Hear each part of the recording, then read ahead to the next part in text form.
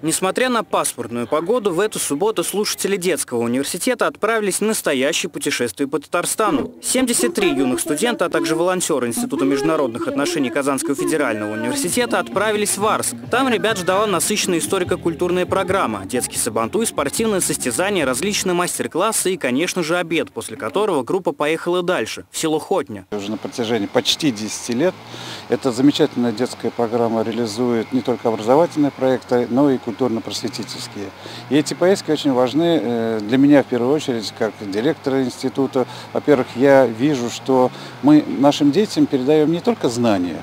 Эти дети, они эрудированные, они прекрасно разбираются в IT-технологиях, из чего стоит мир.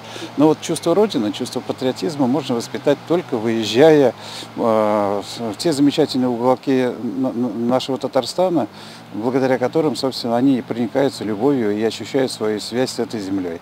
Поездка организована с целью поощрения лучших юных студентов детского университета. Проводится такое путешествие уже в седьмой раз, но впервые в Арском районе. В прошлые годы состоялись выезды в Болгар, Свияжск, Елабугу и многие другие исторические места. Олег Кашин, Владимир Нелюбин, Univer News.